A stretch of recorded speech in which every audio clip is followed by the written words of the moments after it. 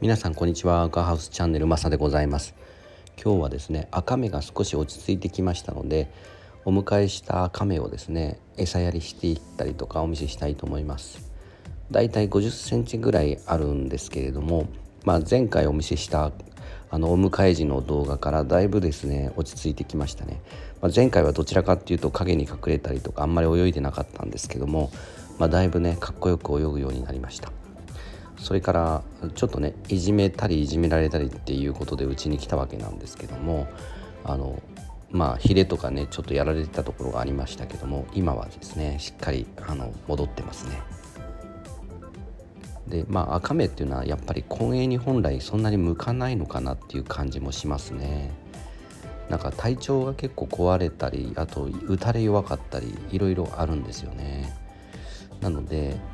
まあ私の場合純淡水で飼育してますけども調子が悪かったらちょっと塩を入れるとか、まあ、そういうことも含めて、まあ、本当はねあんまりあの混泳させたくないんですけども、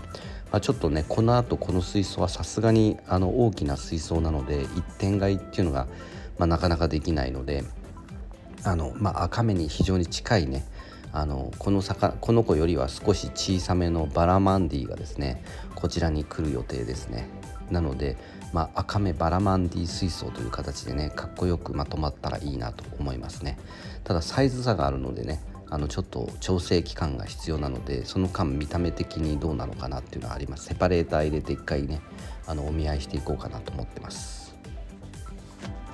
しかしね個人的な好みもあるかもしれないですけどこの赤目という魚は本当にかっこいいですよね。あの、まあ、バラマンディもねあの同じな同じというか区別がつかないぐらいねかっこいい魚で同じような感じなんですけど、まあ、国産だっていうのも含めてねなんかその後釣り人としてはこれ私はそんなに釣りやらないですけど少しね昔やってたんですけど、まあ、赤目っていうとなんかこうワクワクしますよねあの怪魚というかね日本の怪魚っていう感じでねこれを飼育してるというなんかこうエゴイズムをくすぐるというか、まあ、こういうものありますね。ということでね今日はワカサギをあげていきたいと思います。それでは行ってみましょう。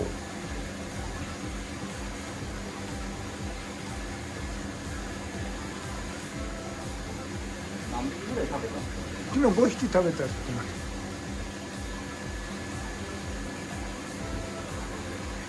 ここに入ってたこういう子全部食ったってああそうですそうですそうです。あこういう子食ったのか？あでも食ったんだと思います来ないですよね。いや入れたら言ってくるんじゃないです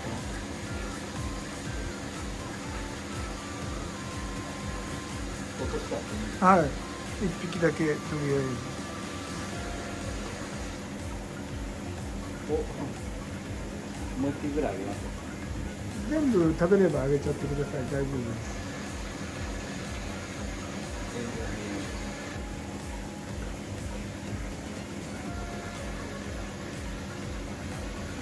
ますからね、豆腐はね。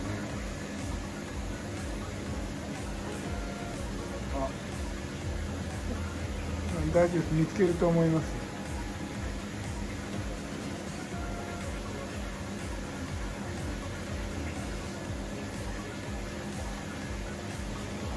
やっぱりビビりですね。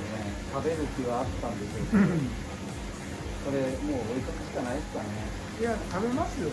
そのうちまあ今、3、2匹食べてくれたから、とりあえず、調子が悪くなさそうですね。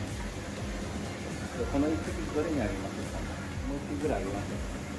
全部食べればあげちゃってください大丈夫です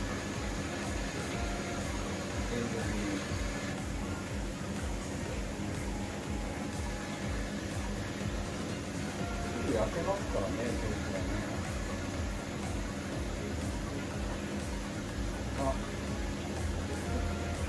大丈夫です。見つけると思います。完全に環境に慣れてるという感じではなくて、まあ、餌やりにする時にビクビクしてますね、まあ、ライトをつけたり撮影するんで、まあ、なかなかねあの食べるのがちょっとビクビクしてるんだと思いますがそのうちねあの他の魚たちと同じように